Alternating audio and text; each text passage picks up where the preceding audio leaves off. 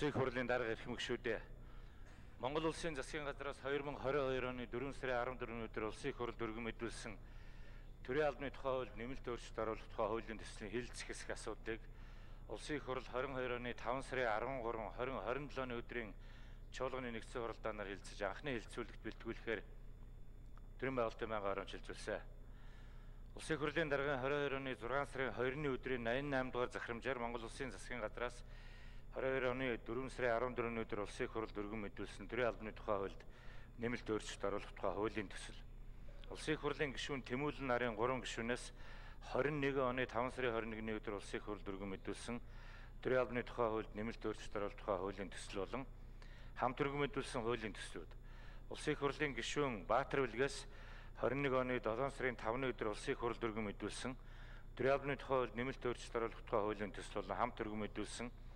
нийтийн албанд нийтийн болон хувийн ашиг сонирхлыг зохицуулах, ашиг сонирхлын зөрчлөөс урьдчилан сэргийлэх тухай хуульд нэмэлт оруулах тухай хуулийн төслийг нэгтгэн байнгын хороо болон чуулганы нэгдсэн хуралдаанаар хилцүүлэх бэлтгэл хангах үүрэг бүхий эсхийг байгуулж ажлын эсхийг ахлагчаар улсын хурлын гишүүн Инхолд бүрэлдэхүүнд улсын хурлын гишүүн Даваасран Эдэрбат Мөнх цэцэг Наранбаатар Одонтуяа Чин зөрөг инх хоёр инх төвшин нар орсоо ажлын хэсэг хуулийн төслүүдийг нэгтгэхдээ Монгол Улсын засгийн газраас өргөн мэдүүлсэн төрийн албаны тухай хуульд нэмэлт оруулах тухай хуулийн төсөлд суурлан нэгтгэх нэгтгэн хилцэх гормын санал гаргасныг байнгын хорооны хуралдаанд оролцсон гишүүдийн олонх тэмцсэн.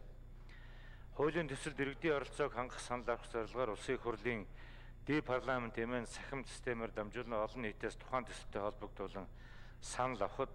нэр бүхий дөрвөн иргэнээс 6 санал ирүүлсэнийг ажлын хэсэг танилцуулсан болно. Тус байнгын хороо 22 оны 6 сарын 29-ний өдрийн хуралдаанаараа хуулийн төслүүдийн анхны хэлэлцүүлгийг Монгол Улсын их хурлын чуулганы хуралдааны дэгийн тухай хуулийн 39-р зүйл заасан журмын дагуу явуулж дараах санал дүгнэлтийг гарган та бүхэн танилцуулж байна. Байнгын хорооны хуралдаанаар хуулийн төслийн анхны хэлэлцүүлгийг явуулах үед ажлын хэсгээс боловсруулсан төрийн албанд 1 жил хүртэл хугацаагаар гэрээгээр ажиллуулж болох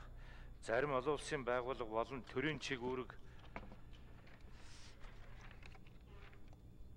хэрэгжүүлэхээр хуулиар тусгайлан хуулиар байгуулагдсан нийтийн эрх зүйн этгээдэд ажилласан иргэний тухайн байгууллагад ажилласан хугацааг төрийн албанд ажилласан хугацаанд дүүцүүлэн тооцох зохицуултуудыг хасах төрийн улс төрийн томилогддог албан тушаалтанд тавих ёс зүйн шаардлагын талаарх зохицуултыг улсын хурлын хилцүүлгийн шатанд байгаа төрийн албан хаагчийн ёс зүйн тухай хуулийн төсөлд тусган зүйтэй гэж үзсэн. Бусад шаардлагыг холбогдох хуулиар